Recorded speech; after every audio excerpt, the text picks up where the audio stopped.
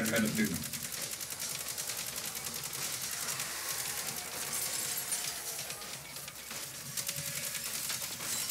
There we go. One more though.